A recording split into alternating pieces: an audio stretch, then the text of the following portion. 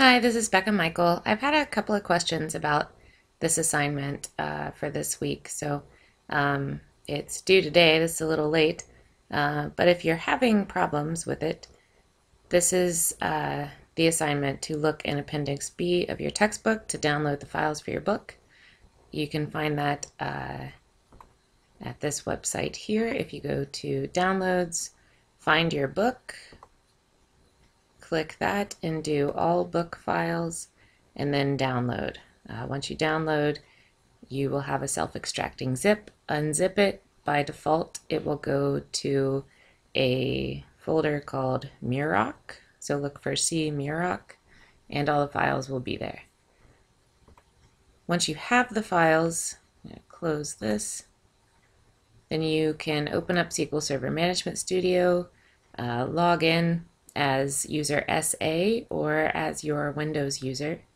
And then you want to open a file. You're going to find your Murach folder. Here's my folder. SQL Server 2012. The exercise is chapter 3, but first you need your database. So here I'm going to go into databases and I'm going to go into create AP.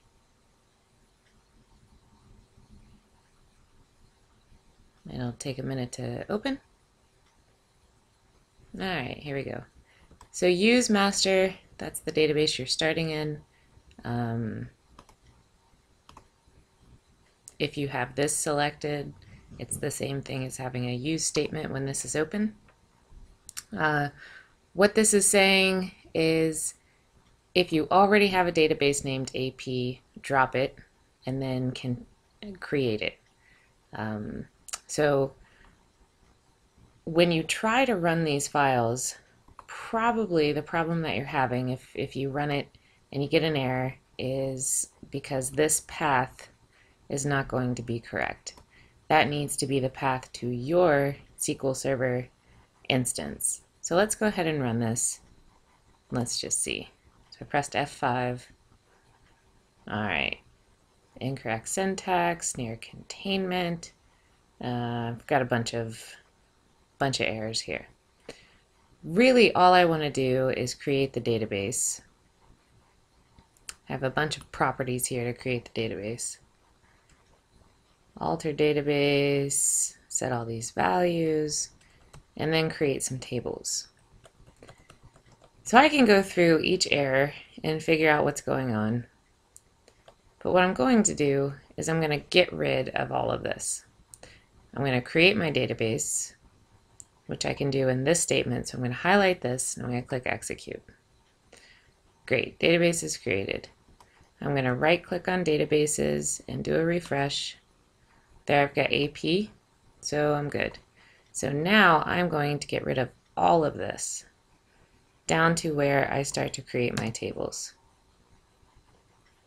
It's not that these statements are wrong.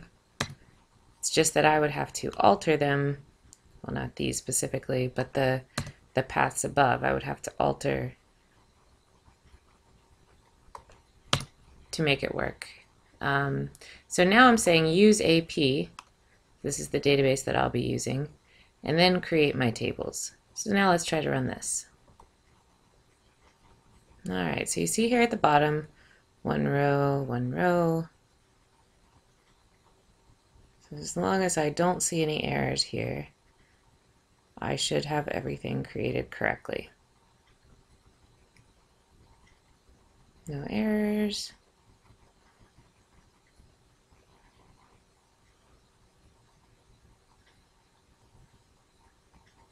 It's a lot of feedback.